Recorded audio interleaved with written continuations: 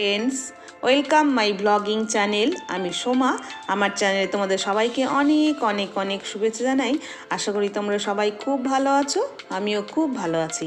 এই চ্যানেলে আজকে আমার প্রথম ভিডিও আজ হলো ছাব্বিশে জানুয়ারি, আর আমরা এখন একটু ঘুরতে বেরিয়েছি। আমি শিলিগুড়িতে থাকি, আর এখান থেকে পাহাড় খুব কাছে, আর এখান আমরা একটু বেড়াতে যাচ্ছি। পাহাড়ের দিকে যাব সেবক নামে একটি জায়গা আছে।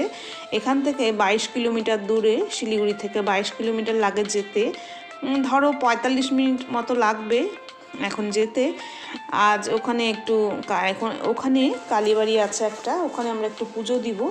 তারপর তোমাদের একটু আশপাশটা ঘুরিয়ে দেখাবো। আমরা মোটামুটি রোববার করি একটু ঘুরতে বেরোই। আমাদেরকেও সেখানে নিয়ে যাব। আর আমার এটা ব্লগিং চ্যানেল আমি প্রতিদিনই প্রায় ভিডিও দেওয়ার চেষ্টা করব। তোমরা প্লিজ সাবস্ক্রাইব করে রাখবে। আর তাহলে আমি যখনই নতুন কোনো ভিডিও আপলোড করব, তোমাদের কাছে পৌঁছে যাবে। তাহলে দেখতে থাকো, আমি কোথায় কোথায় যাচ্ছি। আর এই যে এখন দেখা যাচ্ছে দুপাশে জঙ্গল মতো, এটা হলো মহানন্দা অভয়ারণ্য।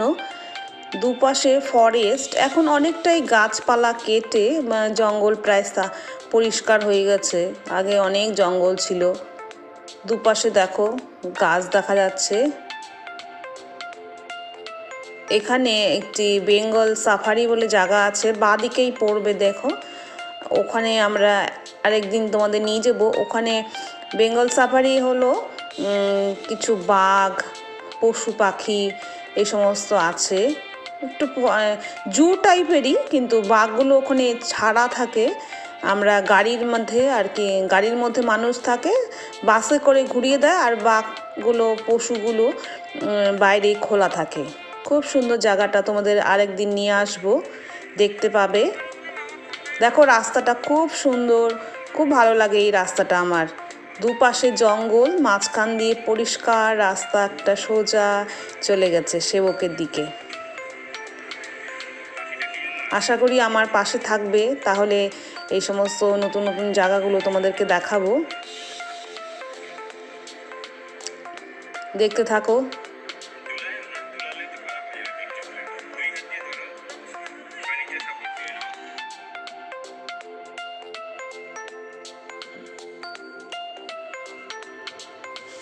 তোমাদেরকে তো দেখানোই হয়নি কারা কারা যাচ্ছি আমরা।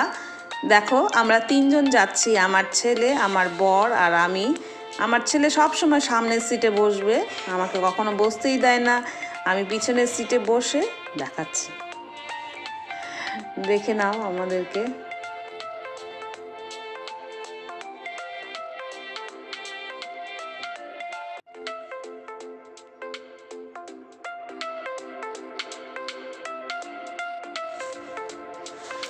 এখন যে এই ব্রিজটা আমরা পার হচ্ছি, এই ব্রিজটার নাম হচ্ছে নন্দীখোলা ব্রিজ।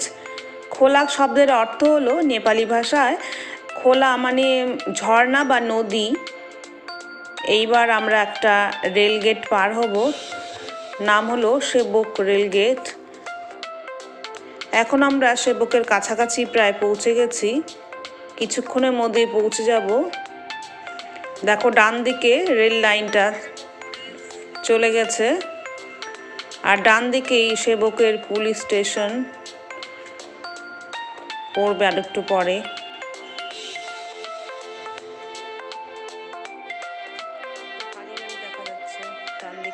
এবার ডান দিকে দেখো, ওই তিস্তা নদী দেখা যাচ্ছে। এখন জল প্রায় কম, কিন্তু অনেক গভীর কিন্তু তিস্তা নদীটা না ডেপথ অনেক।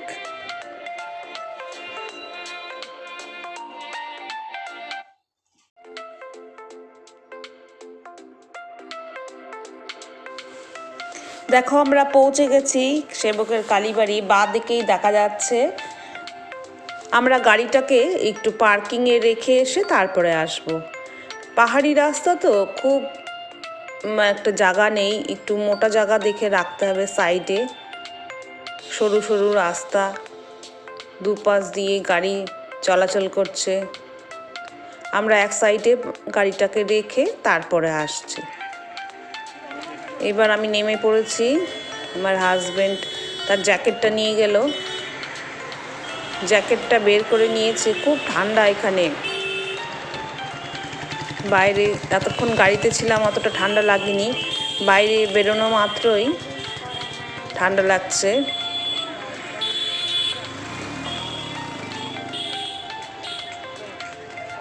এইবার আমরা চল- যাচ্ছি মন্দিরের দিকে। পাহাড়ের উপরে মন্দিরটা। খুব ভিড় হয় প্রায় প্রতিদিনই লোক আসে অনেক দূর দূরান্ত থেকে। খুব জাগ্রত মন্দিরটা। দেখো, দেখা যাচ্ছে সেবকের কর্নেশন ব্রিজ যেটা বিখ্যাত। ইংরেজ আমলের তৈরি এটা। আজকে আমরা সেবকে যাব না, ওই ব্রিজ দেখতে যাব না। আমরা অন্য দিন তোমাদেরকে নিয়ে আসব। আমার বর এখান থেকে কিছু ফুল আর প্রসাদ হিসেবে মিষ্টি নিয়ে আসলো। আমি একাই যাচ্ছি মন্দিরে। আমার ছেলে আর বর নিচে দাঁড়িয়ে থাকল। ওরা আসবে না, যেহেতু জুতো খুলে আসতে হবে হেঁটে হেঁটে ঠান্ডা লাগবে, পায়ে, ওই জন্য আসেনি। আমি উঠছি আর মাস্কটাও খুলে ফেলেছি। কারণ কি, মাস্কটা, মাস্ক পরে না সিঁড়িতে উঠে মানে হাফ লেগে যায়। মাস্ক পরে সিঁড়িতে উঠতে আমার খুব কষ্ট হয়, ওই জন্য মাস্কটা খুলে রেখেছি। দেখো উপর থেকে দেখা যাচ্ছে নিচে রাস্তা দিয়ে গাড়ি যাচ্ছে।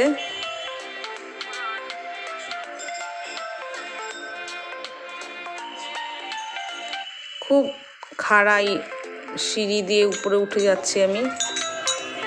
এখানে জায়গায় জায়গায় মন্দিরের ঘণ্টা বাঁধা আছে।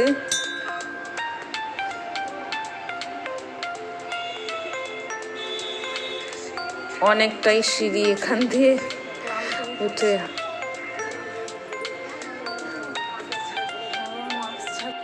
কিছুটা ওঠার পরেই দেখছি এখানে লেখা মাস্ক ছাড়া প্রবেশ নিষেধ। তাই আমি আবার মাস্কটা পরে নিলাম।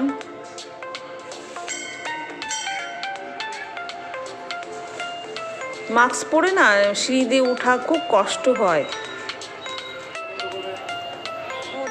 দেখো। ওখানে একটা বিয়েও হচ্ছিল, দেখলাম। আমি ধূপকাঠি ধরিয়ে দিলাম।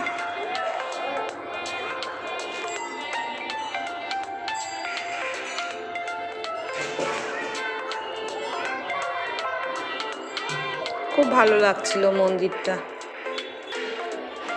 ধূপের গন্ধে চারিদিক মম করছে। ওরা আসলেও ভালো লাগতো কিন্তু আসলো না। অন্য দিন আসবে বলল। নিচে দাঁড়িয়েছিল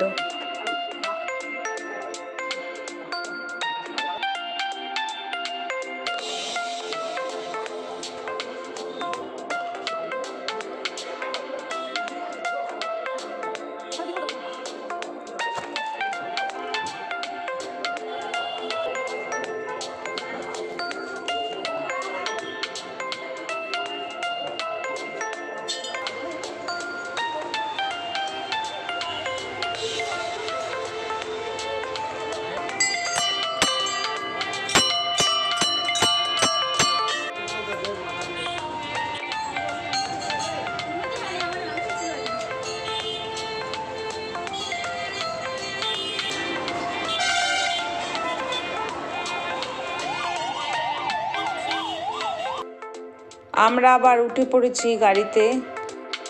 দেখো আবার এখন বাঁদিকে দেখা যাচ্ছে তিস্তা নদী। দূরে ব্রিজটা দেখা যাচ্ছে।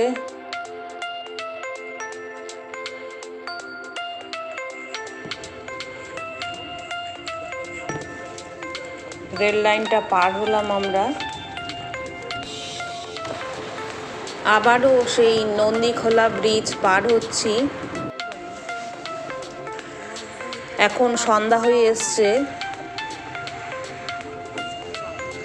ছেলে একটু বায়না ধরলো রেস্টুরেন্টে খাবে, তার জন্য আমরা এখানে এক জায়গায় চলে আসলাম খেতে।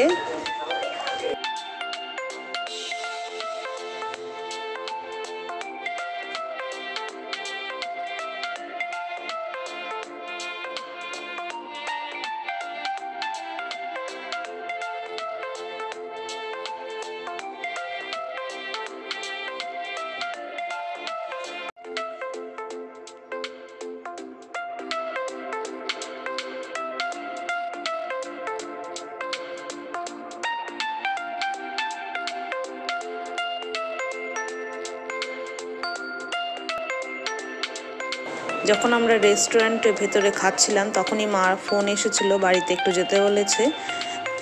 তা ফেরার পথে সেখানে একটু যাব, ওরা একটু খেলে নিক, তারপরে আমরা মার ওখান হয়ে তারপরে বাড়িতে ফিরবো।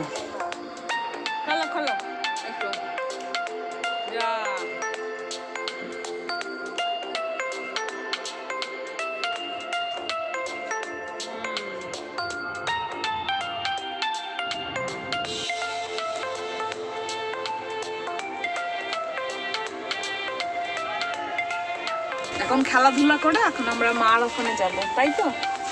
দিদুন বাড়িতে আবার মজা। দিনের বেলা এত আলো ছিল, সেগুলো এখন একদম অন্ধকার, পুরো জঙ্গল একদম পুরো অন্ধকার।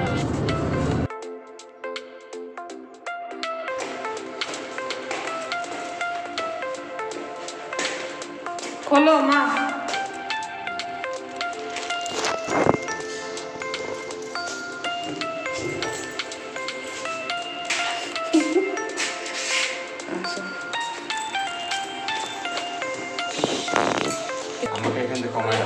রাখা তাহলে যাবে না টাকা নষ্ট হবে। সেটা বুঝছি বুঝতে এক্সচেঞ্জ পেরেছি। নিয়ে তাহলে পাল্টাতে হবে না। এতগুলো আমি তো খাবোই না। তা আমি তো তুলতে পারব না। দেখো হ্যালো ভাই সাহেব এদিকে আনো এদিকে আনো প্লেট আনো কে বলছে ভালো ভাই খায় তো শুদ্ধ দেয় মিষ্টান্ন দিয়েছি গলাটা জিনিস আর এই দাম কত কি ভালো হচ্ছে যদি বলে মাছটা পরে নিয়ে তাহলে। খাওয়া দাওয়া কমপ্লিট হয়েছে। এবার আমরা আসব মা। আসি আমরা। দেখো। আবার আসিব ফিরে।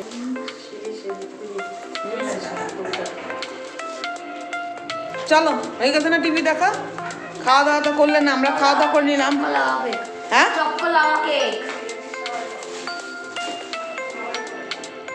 Choco lava cake. খাওয়া দাওয়া হয়ে গেল আবার প্যাকিং করেও নিয়ে নিলাম সব কিছু টাটা যাই আসি বাই বাই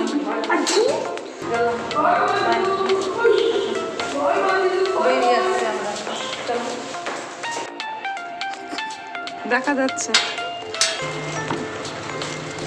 চলো। তো এখন চলে আসলাম বাড়িতে আর এখন বাজে দশটা বিশ।